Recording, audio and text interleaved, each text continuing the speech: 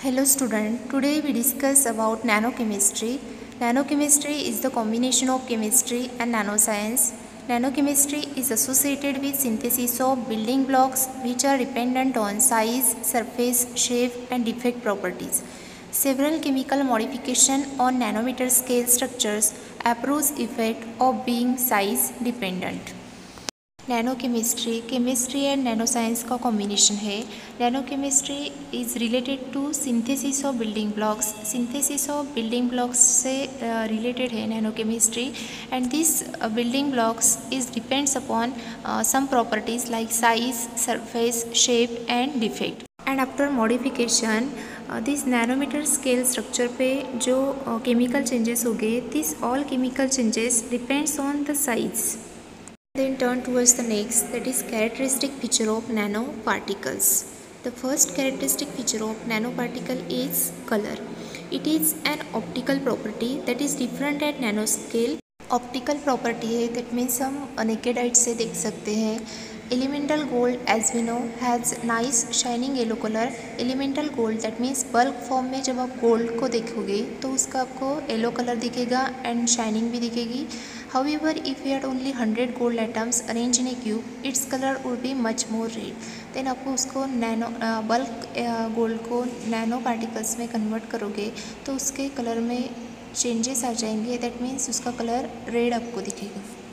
Image में आपको दिख रहा first is yellow and then red and then again dark red this depends on size of the nano particles then next is surface area high surface area to volume ratio is very important characteristic of nanoparticles nanoparticles की एक important characteristic है that is surface to volume ratio if a bulk material is subdivided into a group of individual nanoparticles, the total volume remains the same, but the collective surface area is largely increased.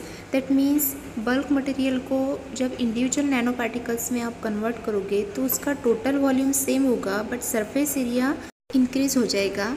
Then these small particles react much faster because more surface area provides more number of reaction sites. Surface area increase होने की वजह से वहाँ पे reaction करने के लिए ज़्यादा साइट्स मिलेगी तो मोर केमिकल रिएक्टिविटी उसकी ज़्यादा हो जाएगी। Explanation of increase in surface area with decrease in particle size next देखते हो कि first cube is a bulk material then bulk material से बल्क मटेरियल कन्वर्ट हो रहा है नैनो पार्टिकल्स में। जैसे ही बल्क मटेरियल नैनो पार्टिकल्स में कन्वर्ट हो रहा, वैसे उसका सरफेस एरिया इंक्रीज़ हो रहा। The next is catalytic activity. Due to increase in surface area with decrease in particle size, nanomaterial based catalyst show increased catalytic activity.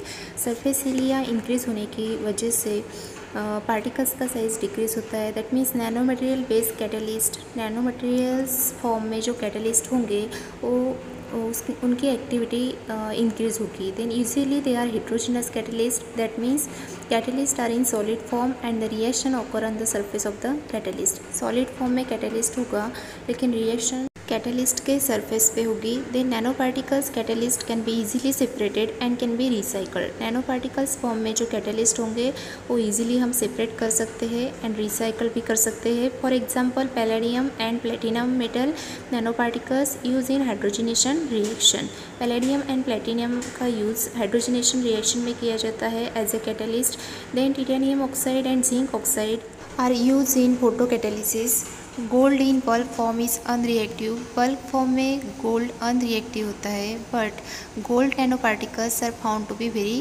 good catalyst for various organic reactions then next thermal properties that is melting point the melting point of nanomaterial changes drastically and depends on size for example sodium cluster of 1000 atoms appear to melt at 288 kelvin sodium का एक cluster, thousand atom से बना हुआ एक cluster two eighty eight kelvin पे melt होता है while cluster of ten thousand atoms melted at three zero three kelvin.